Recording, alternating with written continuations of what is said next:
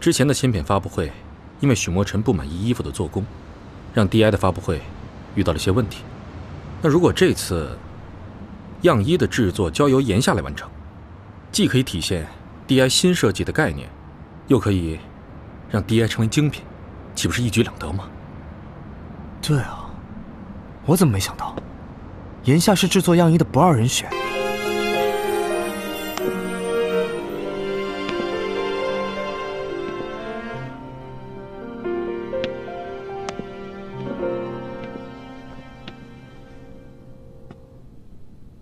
我的眼光果然适合你。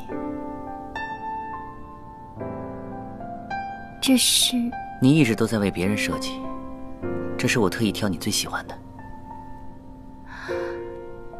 这份魅力只属于你，这身裙装也只属于你。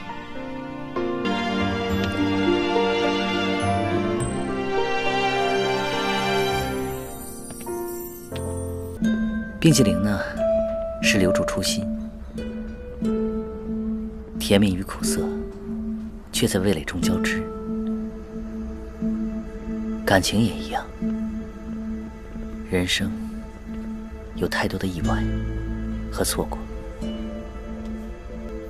但所有的苦涩都抵不上那份甜蜜。如果有一天我离开了你，却没有用心去争取，那种放弃初心的缺憾，我不想让它成为我人生中的经历。灵山，我不想错过。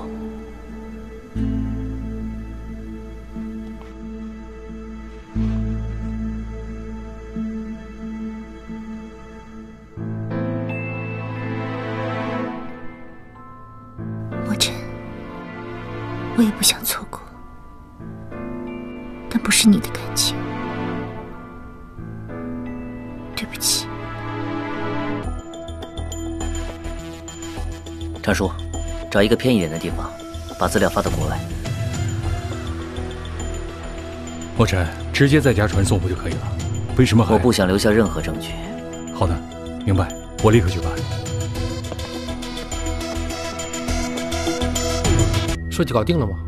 定下来了，我正要去做样衣呢。好，那交给我吧。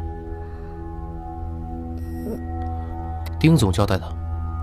可是，上回公司设计被剽窃，你应该被丁总质问过吧？如果这回还出现这样的问题，你承担得起吗？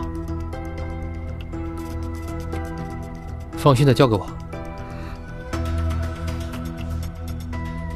那样衣做出来了，你一定要第一时间告诉我。没问题，不过这件事情你千万不能跟穆总监说。喂，东西收到了吗？好，那希望你尽快发表，合作愉快。